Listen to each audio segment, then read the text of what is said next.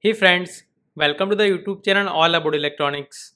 So in this question, we have been given the boolean function which consists of four variables that is a1, a0 and b1, b0. So as you can see, these four variables represents the two unsigned binary numbers and the output of the boolean function f is equal to 1 when the number a is greater than b and otherwise the output f is equal to 0. So here we have been asked to find the minimized boolean expression of the given function. So to find the minimized expression, first of all let us see the truth table of the given boolean function. And here for the four different variables, we have total 16 different input combinations. So here this a1 a0 corresponds to number a while this b1 b0 corresponds to number b.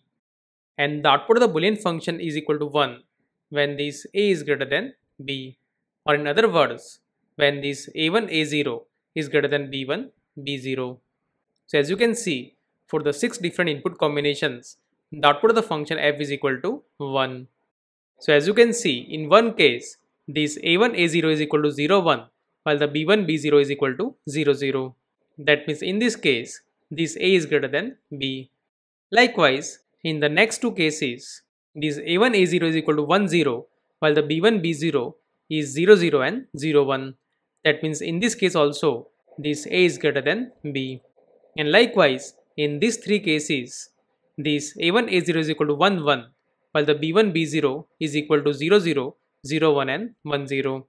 That means in these three cases also this A1 A0 is greater than B1 B0.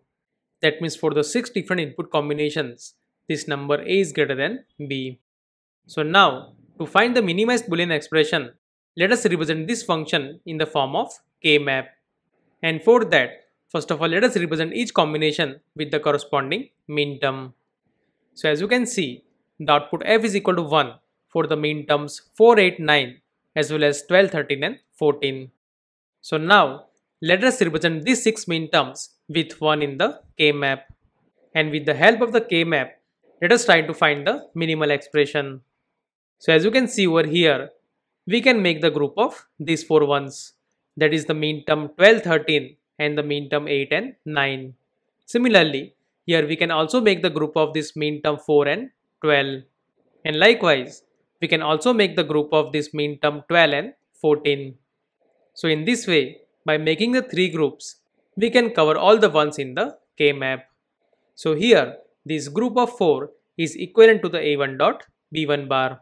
Because in this group this variable a is equal to 1 while the variable b1 is equal to 0.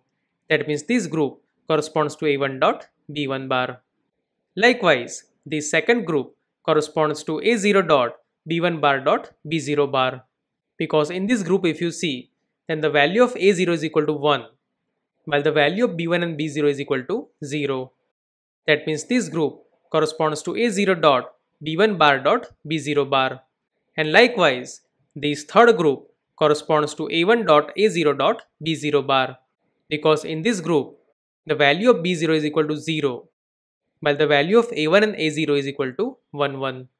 That means this group corresponds to a1 dot a0 dot b0 bar. And if we see the overall minimized expression then that is the summation of all these groups. That means f is equal to a1 dot b1 bar plus a1 dot a0 dot b0 bar plus a0 dot b1 bar dot b0 bar. So that is the minimized expression for the given boolean function.